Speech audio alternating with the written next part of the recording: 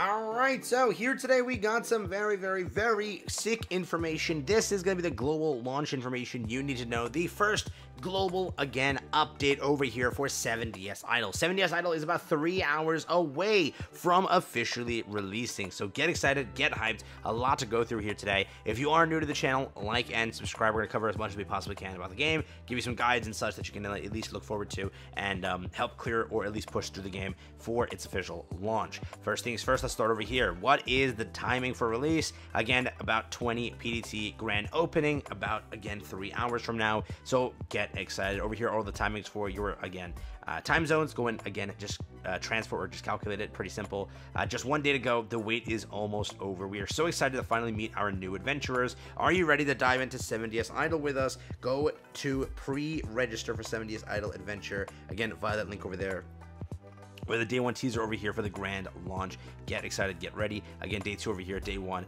only about three hours away. As again, this was tweeted um, 17 hours ago. So be excited. I'm, I'm, I'm ready. I hope you are.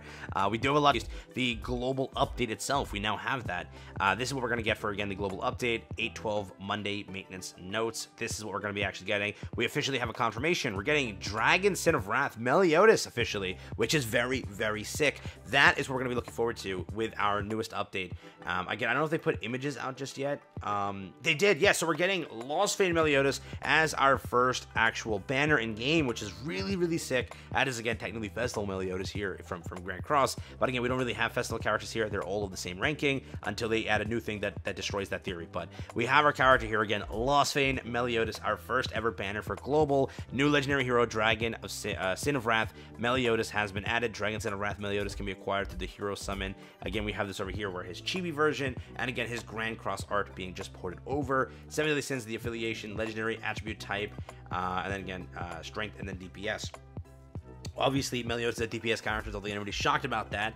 Uh, charge is this over here, deals damage equal to 101% of attack on target. Blaze Burst upon landing a critical hit, deals damage equal to 199% of attack to the target and reduces own cooldowns by 0.5.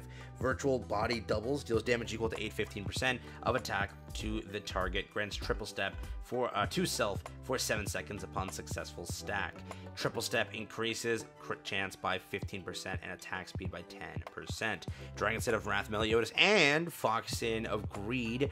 Banner again rate up is what we're to get over here. So Ban and Melly we're to get two banners uh, for the game. We actually already had this for the start of our actual um, what is it beta and we've already gone through that but i would say melly is just a better pick overall because uh, probably given he's melly they're gonna make him pretty busted i'm guessing so uh, probably go for uh, for melly over here. Uh, we also have system content improvements. A server merge will happen. This basically happens to allow players to not have like a massive head start and it just kind of helps uh, to make the game a little bit more uh, better for players to go through and it's good for what it is. And also if any dead servers exist it just merges to fix the dead servers and everything but probably they're trying to make it one version as global's now launching so obviously the server merge has to go through. That's that's the point.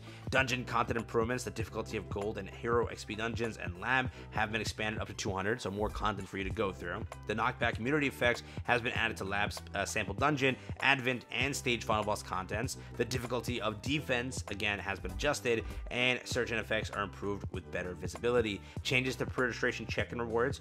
Draw power now is launch festival, and, okay, so it looks like multiple Hero Summon tickets for the festival. Again, before you have one there, you now have one here. So instead of draw power, uh, those again are what they're going to go for here. Launch uh, Festival Hero Selection ticket. Selection Summon ticket over here. You'll get one of these instead now here, here, but now Selection ticket over here. Then again, draw Power 500, so big buff there. Then again, another instead of Summon ticket, a Selection ticket. So two selections, one summon, which is very very cool. Let's see who we can select with these characters. Hopefully Meliodas is one of them, which I think he should be actually. So Get excited for that. Shops and packs. We have new packs over here to look forward to. They're all Dragon Sin of Math. Uh, of Math. Great. Dragon Sin of Wrath. Meliodas. Um, oriented. So there's that.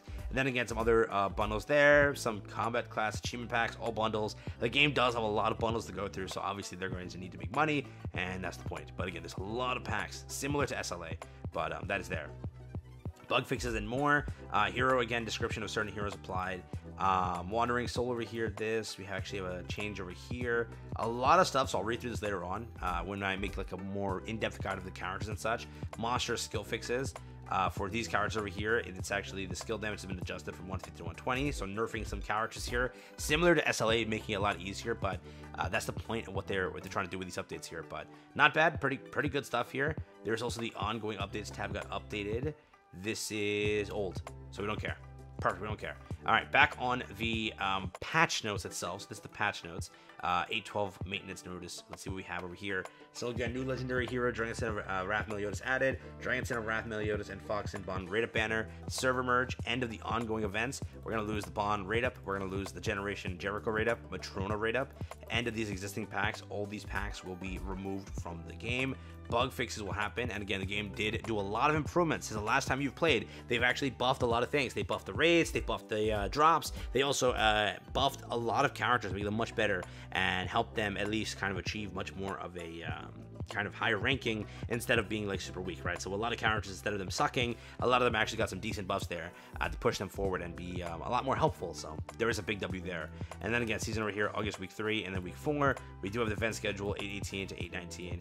Attribute before was Dex, and then Int, and then over here Strength and Vitality. I'm guessing because of our banners we're getting for the uh, the actual game here to help global make it a little bit easier if you're pulling for things to at least have a bit of a uh, easier chance clearing what is currently again the uh, the events correct? So very cool stuff overall. Those are the patch notes. Again we are getting a brand new character. That is Meliodas. Should you summon I don't know if you really need this but real quick it's the starter banner so just go for him correct? Uh, so far we've had some decent characters. We've had some mid ones. I will say for the most part though uh, it is Meliodas making this anything far anything from uh, broken is insanity. It is your first Meliodas in game other than the Tavern Meliodas. So definitely if they want to do this correctly they better make him super busted and I'm expecting him to be super busted. So I will test him when he drops over on Global. Again, we're three hours out from the release for me recording this video. I'm probably to drop it right when I finish it. So uh, probably it'll be, uh, from you watching this video, just count about two hours, 30 minutes. We'll say that uh, by the time I upload it. And you're good to go. That's when the game releases. So very cool stuff on that front.